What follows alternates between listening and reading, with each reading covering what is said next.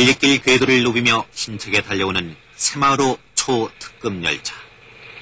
여기 35년을 한결같이 철마와 함께 살아온 기관사 이동진 씨.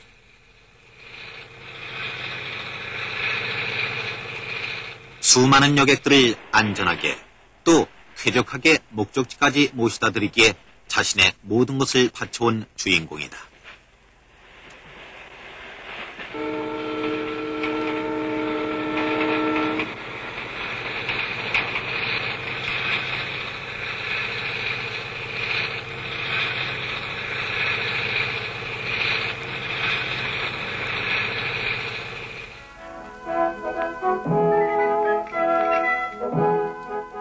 이동진 기관사는 국내에서는 처음으로 무사고 100만 킬로미터를 주파했다.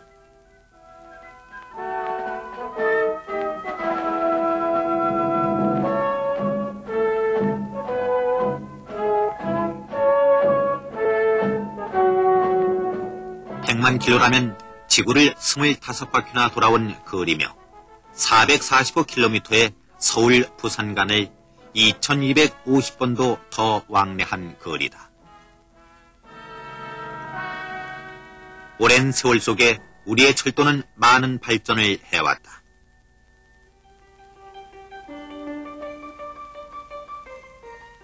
돌이켜보면 우리의 철도 역사는 1899년 제물포 노량진 간 33km의 경인선이 개통된 이래 79년의 연륜을 쌓아왔다. 국민학교 2학년 때 처음으로 터우 5형 기관차를 몰고 가는 기관사를 부러운 눈으로 쳐다본 이동진 소년.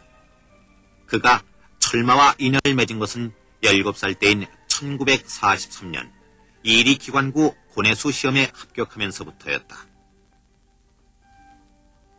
그로부터 6년 만에 기관 조사가 된 이동진 씨는 6.25 동란을 만났으나 이때 군사수송에 이바지한 숨은 공로는 컸다.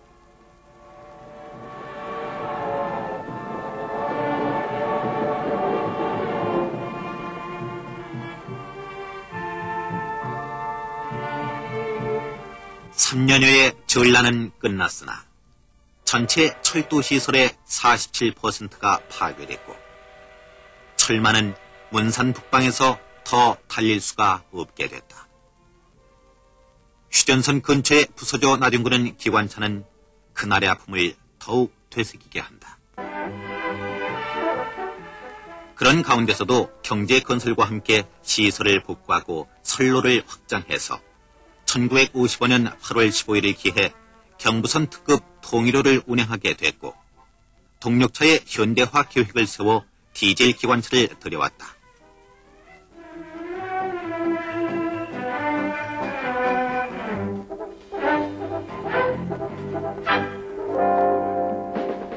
남달리 성실하고 책임감이 강한 이동진 기관사는 위기 직전에 사고를 예방한 사례가 많다.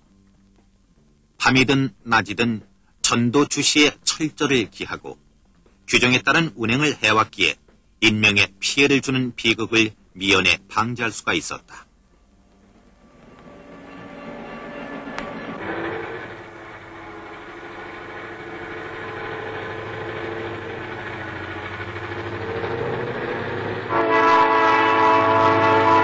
특히 건널목을 지날 때는 손에 땀을 쥐게 하는 일도 많았다.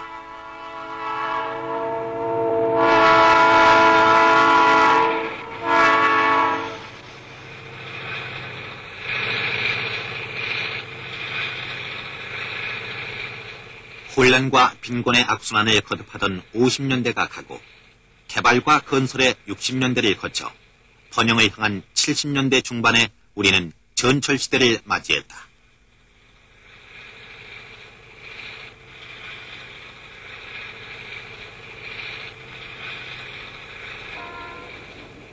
그러는 동안 초특급 열차를 비롯해 매시간 배차할 만큼 우리의 철도는 발전했다.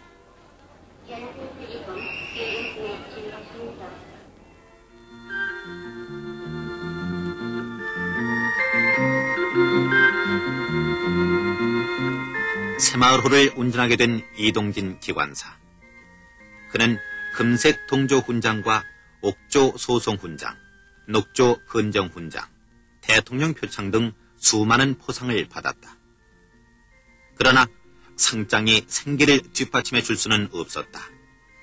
가난한 공무원 아내의 고생은 이루 말할 수 없을 정도였고 합격 통지서를 내밀며 상급 학교에 보내달라는 자녀들의 애원 앞에 눈물을 흘린 적이 한두 번이 아니다. 그렇지만 그 자신 성실한 공무원임을 자부하면서 살아왔고 지금도 마찬가지다.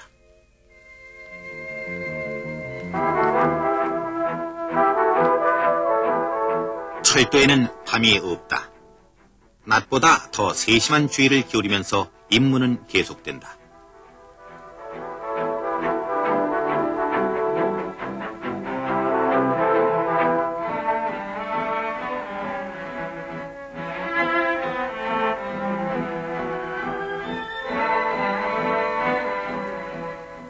밤 교대 근무지만 기관사는 모두 단 5분의 출무 지연도 없다.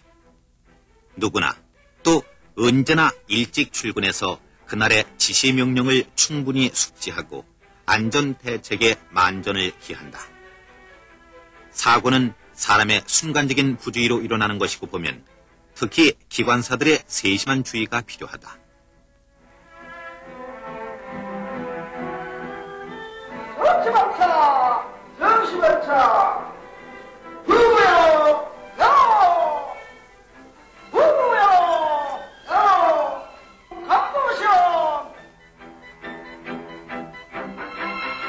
그러기에 이들은 단 한순간도 방심하지 않고 직분을 성실히 수행하고 있다.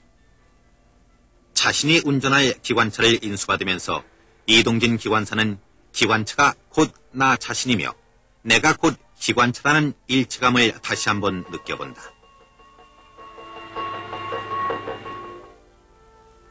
밤을 지키는 철도원들. 남들은 쉬는 시간이지만 철도원들은 철도의 안전을 위해 밤을 지새야 한다.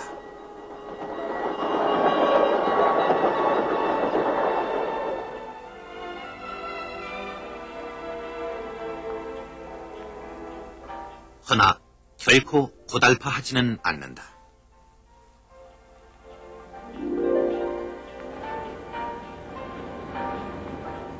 전국의 철도 종사자들은 약 4만 명이나 된다. 이 많은 사람들이 교대 근무를 함으로써 철도는 24시간 쉬지를 않는다.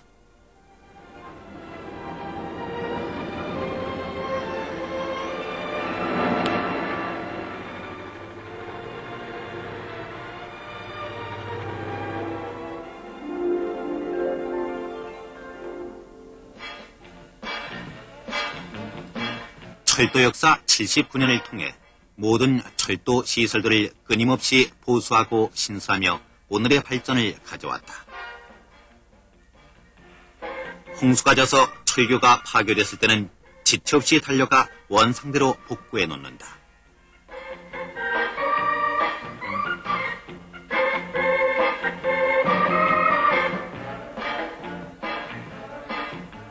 눈이 오나 비가 오나 태백 주일령을 넘어 무연탄을 실어 나르는 산업선의 수송 요원들. 이 모든 철도들의 숨은 노력으로 국가 발전과 국민 경제 생활에 보다 큰 혜택이 돌아가고 있다.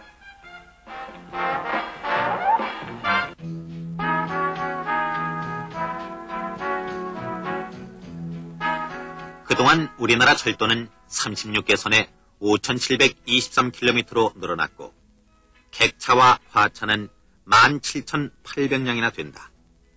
그리고 사만여 철도 종사자들은 밤낮으로 안전운행에 힘쓰고 있다.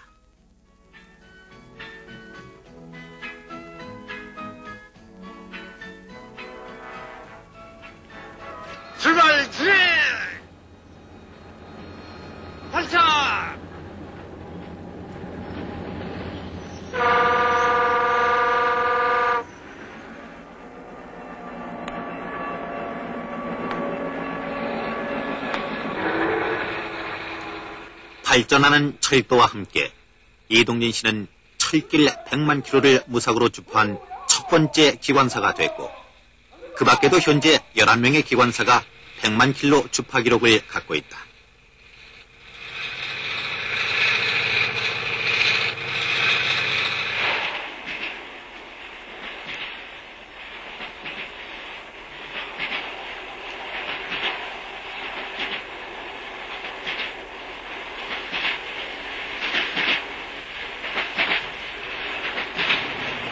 이동진 기관사는 35년이라는 긴 세월을 철마와 함께 달리며 날마다 새로워지는 산천 경계에서 조국의 순환과 영광을 볼 수가 있었다. 철도 연변에 드넓게 펼쳐진 농경지. 이제 우리의 농촌은 이토록 살기 좋은 고장으로 변모했다. 이 풍요로운 들판을 지날 때마다 기관사는 발전하는 조국을 실감할 수가 있다.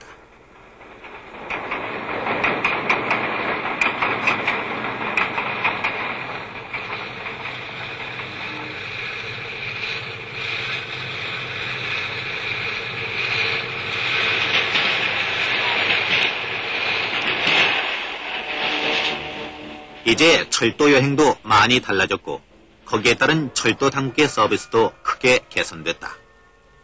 무선 통신을 이용해서 열차 내 모든 승객에게 안전하고 편리한 여러 가지 봉사를 하고 있다.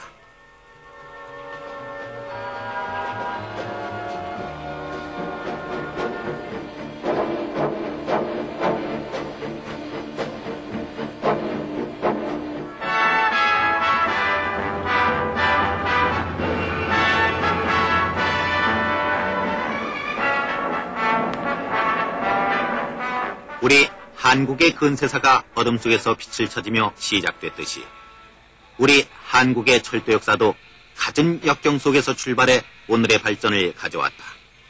참으로 많은 사람들의 노력의 결과라 하겠다.